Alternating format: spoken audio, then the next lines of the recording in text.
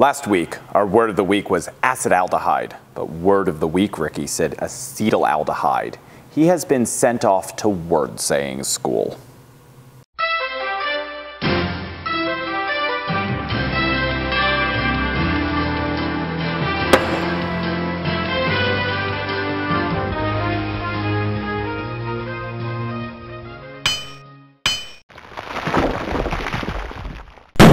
Welcome to Ask the Mead Maker, where I, Ricky the Mead Maker, answer your questions about mead making, mead drinking, mead brewing, and really any question you're willing to send to me. The first thing I have to say this week is a correction. Word of the week, Ricky may have screwed up, and I screwed up big time in writing, in our recipe blog, and almost in a BYO article. I accidentally said that I recommend one ounce of Wyeast nutrient per gallon. What I meant to say was one ounce of Wyeast nutrient per five gallon batch. That's a big difference. One ounce per five gallons is still a lot more than they recommend, but it is one fifth less than that other thing that I said, and I'm sorry.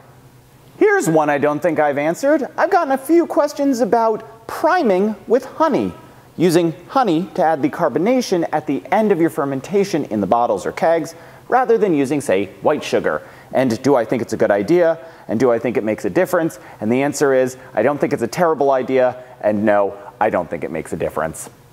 Pastor Pipes is a lazy beer brewer, which is my favorite kind because I'm also a lazy beer brewer and I'm more or less a lazy mead maker as well. And he wanted to know a quick and dirty one gallon recipe for mead that would be worth drinking. Here it is.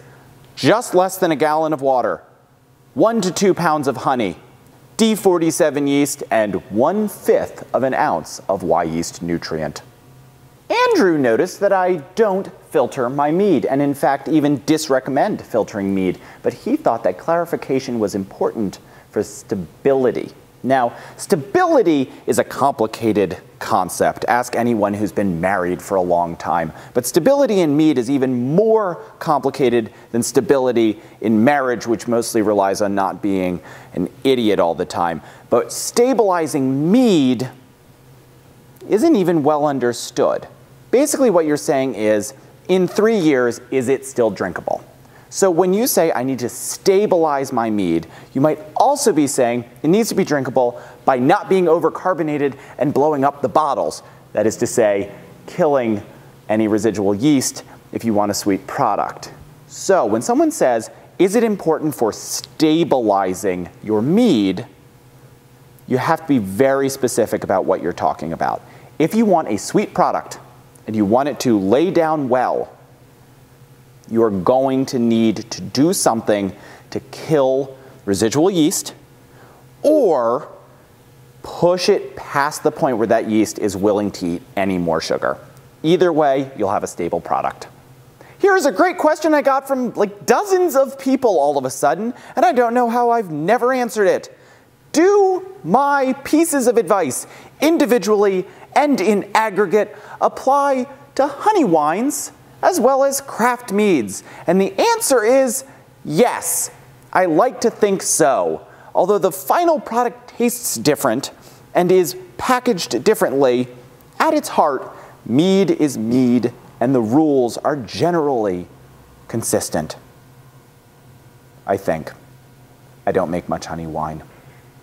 If you find that my rules don't work for the thing that you make, shoot me an email and tell me why you think the rules might be different. I've never found a difference in our fermentation styles from craft mead to honey wines. In fact, some of our things are made as honey wines and then brought down to be craft meads in ABV and carbonated. So I guess by definition, my rules would work for both. But as you can tell, I don't know. So that's our last question this week. And again, it's one of those things where it's kind of a question for you. Word of the week, Ricky is off at his camp, learning how to say words right. And uh, hopefully he'll be back with us next week and on probation. Until then, keep sending your questions and I'll get to them as soon as possible. Cheers.